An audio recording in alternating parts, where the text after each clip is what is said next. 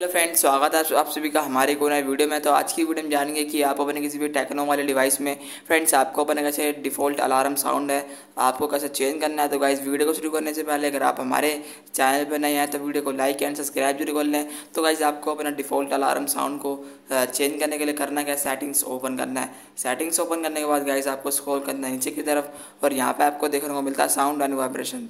तो आपको यहाँ पे क्लिक करना है। क्लिक करने के बाद गाइज़ आपको दिख, दिखता है स्क्रॉल करने के बाद यहाँ पे आपको default noti default alarm sound तो आपको यहाँ पे क्लिक करना है। क्लिक करने के बाद फ्रेंड्स आप देख सकते हैं कि मेरा भी डिफ़ॉल्ट अलार्म साउंड मेरा सेट है।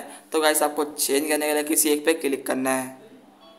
क्लिक करने के बाद फ्रेंड्स आपको ओके पे क्लिक कर देना ओके पे क्लिक करने के बाद फ्रेंड्स आप यहाँ पे आते हैं अपना अलार्म वॉल्यूम यहाँ पे चेक करते हैं।